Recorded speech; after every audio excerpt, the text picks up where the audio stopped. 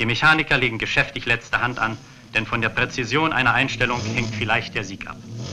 Und der Sieg in diesem Rennen ist wirklich von äußerster Bedeutung. Und die Mechaniker hantieren lebhaft an den Wagen.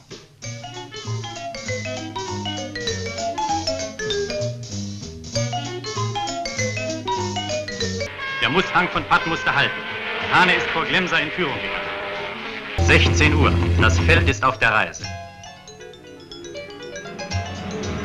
Hane auf seinem BMW ist angefahren wie ein Blitz. Sprachlos sieht man zu, wie die Fahrer ihre Wagen in die Redion-Kurve hineinschleudern. 6. August 1966. Hubert Hane gewinnt auf BMW 2000 Ti gegen die Tourenwagen-Elite der Welt und stellt einen neuen Rundenrekord für Serientourenwagen aller Klassen auf.